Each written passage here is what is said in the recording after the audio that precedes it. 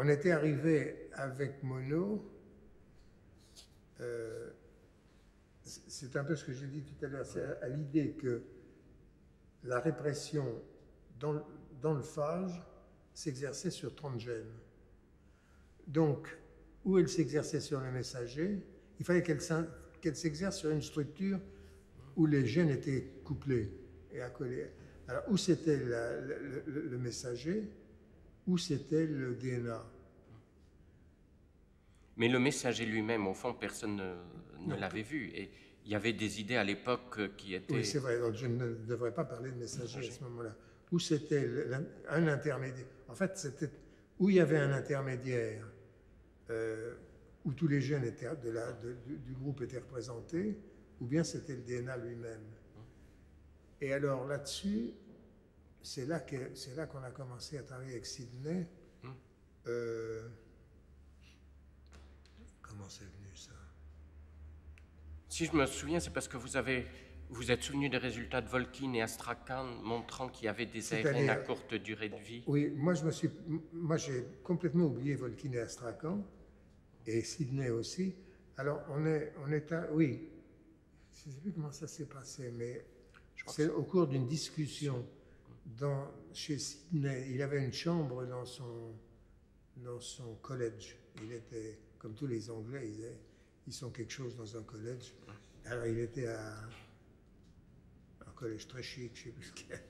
Et alors il avait une chambre là, et on a eu un jour une discussion avec Francis qui était arrivé, et où j'ai raconté les, les expériences qu'on avait faites à Paris justement, euh, justement sur ces histoires d'inductibilité, qui conduisaient à l'idée qu'il devait y avoir nécessairement un, intermédiaire entre le gène et la protéine sur lequel étaient représentés tous les trucs. Et c'est là-dessus que, donc on a discuté cette histoire-là, euh, et c'est là-dessus qu'ils ont sauté au plafond tous les deux en disant c'est Volkin et Astrakhan. Moi j'avais complètement oublié Volkin, je savais qu'ils existaient, j'avais complètement oublié. C'est eux qui ont fait la liaison. Et alors à partir de là, on a décidé avec Sidney de faire cette expérience euh, qu'on est allé faire à Pasadena. Et où ça a failli ne pas marcher. Ça n'a- on, on avait exactement 30 jours parce qu'il avait des obligations. On était, à- on était invité, lui était invité par, par Max Delbruck. Moi, je- euh, moi j'étais invité par Max Delbruck et lui par, euh, Mais pas, pas Messelson, non? Par Messelson. Par ça. Messelson.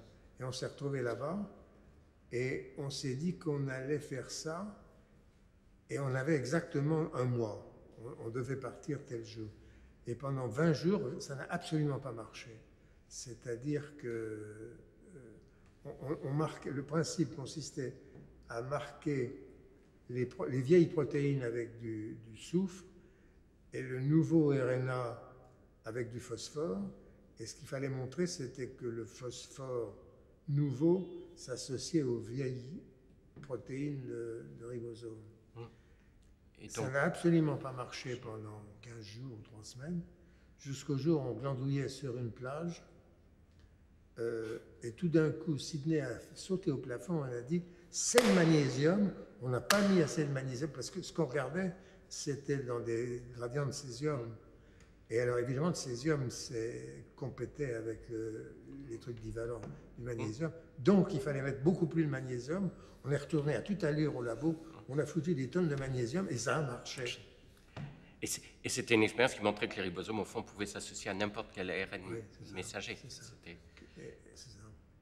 Et euh, parallèlement, euh, François Gros, chez- dans le laboratoire de Jim Watson, montrait aussi l'existence d'ARN Alors ils ont, lui, c'était, mais il est parti dans, il a fait ça par un autre bout, c'est qu'il a montré que, on savait, le, le Volkin et Astrakhan, c'était chez le phage, euh, après les bactéries infectées.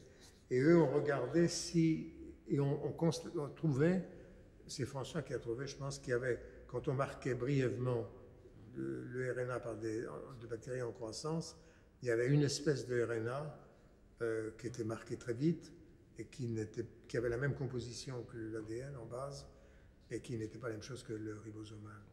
Donc c'était, par deux, deux- côtés différents, on arrivait à la même. Conclusion.